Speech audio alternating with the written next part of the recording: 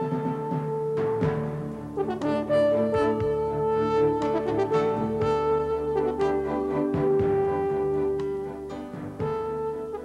of Sacramento, California, on the American River, Auburn Cofferdam was built in the early 1970s. It diverted the river flows around the construction area for the foundation of the proposed Auburn Dam. The earthen cofferdam was modified in the late 1970s. At that time, a safety plug, a soft plug, was built into the right abutment and the remainder of the structure was raised eight feet. The plug was designed to erode if the capacity of the cofferdam was ever exceeded. This would allow the dam to fail gradually and the stored water to be released over a period of hours. This slow breach would also restrict the amount of the embankment material entering the river. Downstream, Folsom Dam and Reservoir was operated on the assumption that Auburn Cofferdam would fail if its capacity was exceeded. For computation purposes, the water stored behind the cofferdam was added to Folsom storage. California's unprecedented storms of February 1986 resulted in large inflows that exceeded the diversion and storage capacity of Auburn Cofferdam. On February 18th, the safety plug in the right spillway of the cofferdam was overtopped, and it began to erode as designed. The erosion of the spillway and drainage of the reservoir behind the cofferdam occurred over a period of about 12 hours.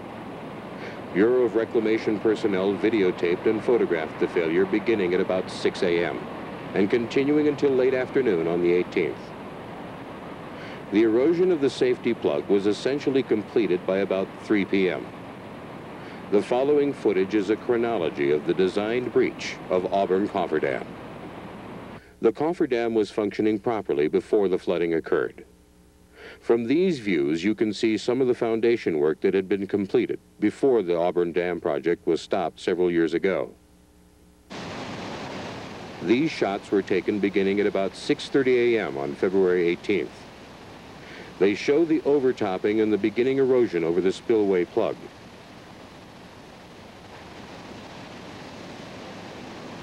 Downstream from the cofferdam, erosion is starting to take place along the edges of the spillway channel. At this time, some erosion of the spillway plug has probably occurred. As the time progresses, more erosion takes place. Note the elevation of the water behind the cofferdam in relation to the road on the left abutment. As the plug continues to erode, the water level behind the dam will drop. The flow is now sufficient to start erosion on the edge of the spillway canal downstream from the cofferdam. The water quality dam downstream had previously been breached for other purposes by earth-moving equipment. In the spillway, the erosion is horseshoe-shaped as it progresses upstream toward the spillway plug.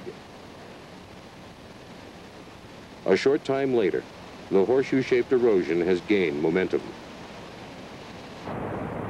The diversion tunnel is discharging below the previously breached water quality dam. Massive erosion along the downstream edge of the spillway channel is beginning to take place. The water eats into the toe of the dam.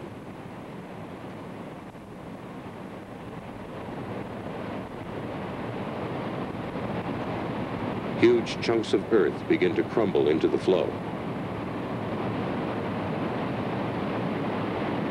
The spillway dramatically continues to erode. A distant view shows the spillway channel erosion. Significant erosion continues on the cofferdam. Downstream, the diversion tunnel continues its discharge. A swirl forms in the cofferdam reservoir at the intake for the diversion tunnel.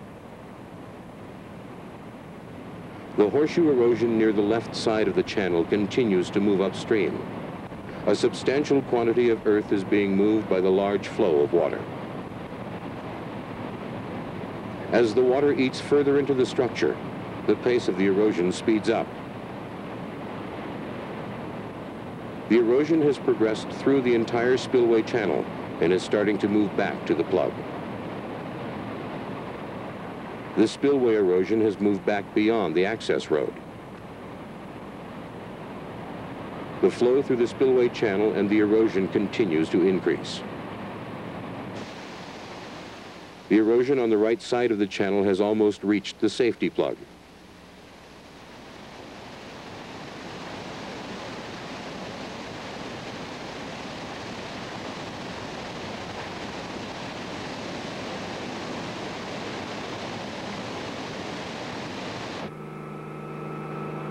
It is now noon on February 18th.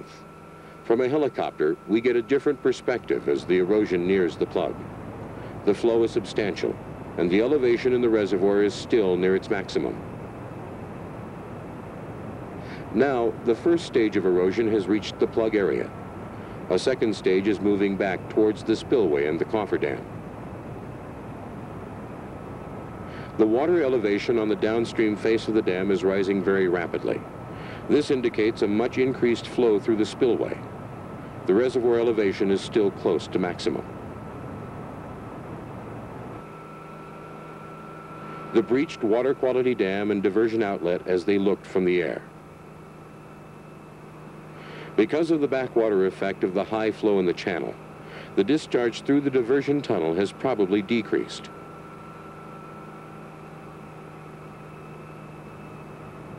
The erosion in the spillway continues at a significant rate as the downstream water surface elevation continues to rise.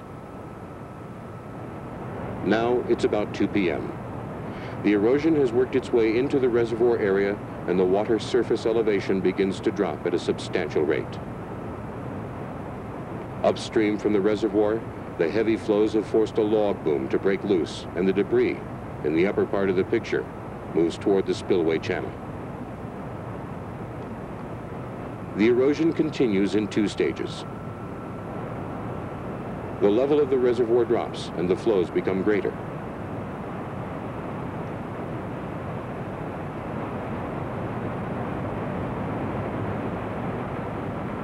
The debris of logs moves into the opening. Downstream, the water elevation continues to rise, while in the reservoir the elevation has dropped substantially. This is the situation about 2.30 p.m. on February 18th. 30 minutes later, at approximately 3 p.m., the erosion of the safety plug was substantially completed.